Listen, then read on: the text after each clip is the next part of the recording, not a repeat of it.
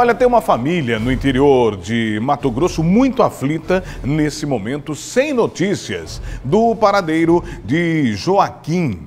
Joaquim é um jovem de 26 anos que sofre de transtorno mental. Ele estava a caminho de Barra do Garços, viagem de no máximo sete horas, que já dura quase dois meses. Tem mais. Ele não remarcou a passagem. O celular da vítima estaria com desconhecidos e a suspeita é que Joaquim esteja pelas ruas da capital sem contato com os irmãos. Daniel Santos é quem traz essa história na tela do Cadeia. Vai, Daniel! Para contar essa história, é preciso voltar um pouco no tempo. Há quase dois meses, Joaquim saiu de São José do Xingu, dá mais de 950 quilômetros de Cuiabá. Ele foi até a rodoviária, conseguiu uma passagem, seguiu até a cidade de Matupá, já no eixo da BR-163. De Matupá, ele tomou outro ônibus, veio para Cuiabá. Ele desceu aqui no terminal Cássio Veiga de Sá. Só que aqui na rodoviária não era para ele permanecer muito tempo, não.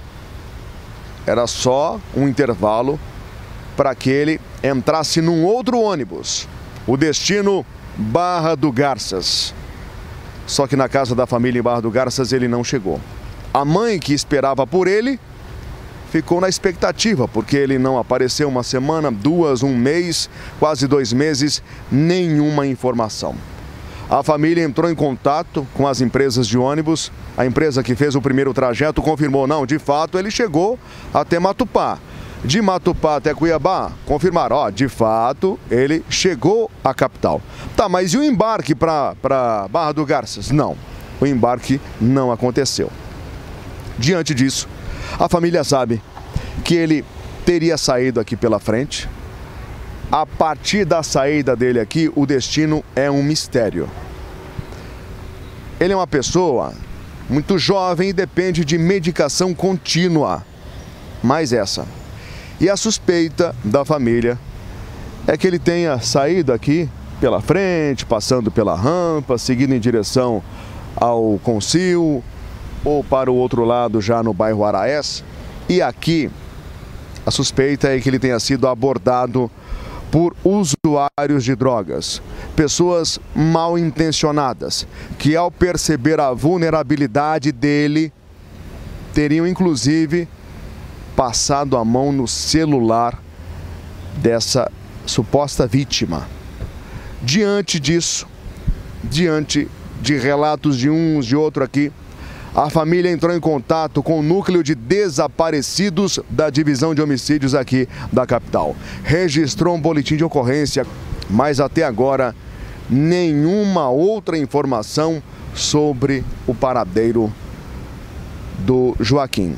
Meu nome é Isaías dos Santos. Eu estou à procura do meu irmão, Joaquim Gonçalves de Faria Filho. Estou à procura dele, sabe? Ele não pode ficar sem um remédio. Eu estou preocupado, eu não sei aonde que ele, ele anda, sabe? Aí nós tentando entrar em contato com ele, e aí nós... Um homem atendeu o telefone aí na, em Cuiabá, entendeu? Disse que achou o chip jogado no chão e colocou no telefone dele, sabe? Mas diz ele que não conhece o Joaquim e nem sabe quem é esse Joaquim, entendeu? No fechamento do registro que a gente faz aqui em frente à rodoviária, veio uma informação, pode ser um caminho para a polícia e também para a família. Ele teria sido visto lá onde vai a viatura da Polícia Militar. Já no limite, Miguel Sutil com o bairro Araés. Ao que tudo indica, ele não foi muito longe, não. Imagens do Benedito Costa, o apoio do Elenilson Daniel Santos para o Cadeia.